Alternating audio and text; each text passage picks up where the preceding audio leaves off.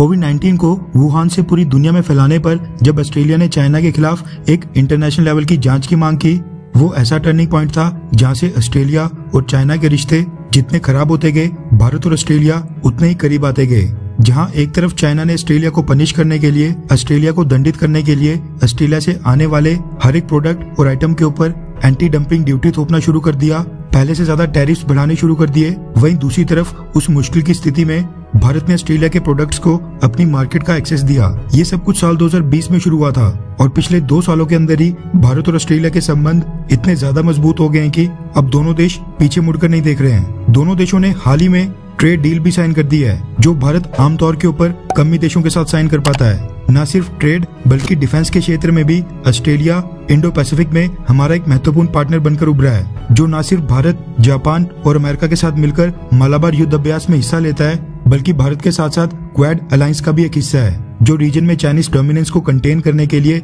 खड़ी की गई है। ये कहना गलत नहीं होगा कि रिसेंट ईयर्स में यूनाइटेड अरब एमिरेट्स के बाद ऑस्ट्रेलिया दूसरा ऐसा देश है, जो भारत के बेहद तेज़ी से करीब आया है। आज के समय दुनिया भर में बस एक ही चीज़ डिस्कस की जा रही है, और वो है रशिया यूक्रेन युद्ध। ऑस्ट्रेलिया की बात करें तो ऑस्ट्रेलिया ने भी अमेरिका के साथ मिलकर रशिया के खिलाफ कड़े प्रतिबंध थोपे हैं, और यूक्रेन की मदद का ऐलान किया है। अब क्योंकि भारत भी पिछले कुछ सालों से वेस्टर्न देशों के काफ़ी क्लोज आ गया है। इसलिए अमेरिका और ब्रिटेन समेत कई सारे वेस्टर्न देश भारत से आग्रह कर रहे थे कि भारत रशिया की निंदा करे और रशिया की आलोचना करे।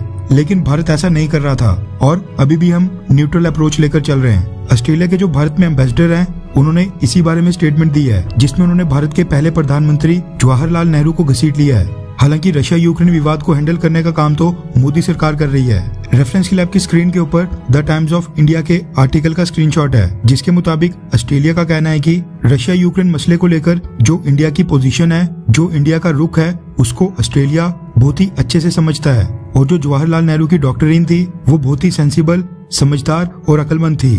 ऑस्ट्रेलिया के भारत में एम्बेसडर बैरी ओ फेरेल पिछले कल एक इवेंट को संबोधित कर रहे थे। जिस दौरान उन्होंने कहा कि ऑस्ट्रेलिया भारत की स्थिति को समझता है, मुझे ये तथ्य मिलता है कि पैंसठ साल पहले भारत के प्रधानमंत्री नेहरू ने एक बहुत ही समझदार सिद्धांत की रूपरेखा तैयार की, जिसमें उन्होंने कहा कि भारत दूसरे देशों को कंडेम करने के बिज़नेस में नहीं है, यानी भारत दूसरे देशों की निंदा नहीं करने वाला, बल्कि भारत ऐसी परिस्थितियाँ बनाने का काम करेगा, जिसमें समाधान खोजा जा सके।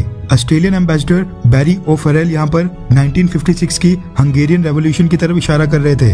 जब सोवियत यूनियन की फोर्सेज ने हंगरी में घुसकर वहाँ पर मिलिट्री ऑपरेशंस करके वहाँ पर प्रो सोवियत गवर्नमेंट बनाई थी, तब भी हंगरी के कई सारे आम नागरिक सोवियत यूनियन की पावरफुल सेना से लड़ते लड़ते मारे गए थे। सोवियत यूनियन की आलोचना और निंदा करने का भारत के ऊपर उस समय भी वेस्टर्न देशों का काफ़ी प्रेशर था, लेकिन भारत ने तब भी ऐसा करने से मना कर दिया था और कहा था कि निंदा करने के बजाय भारत मसले का समाधान निकालने का काम करेगा।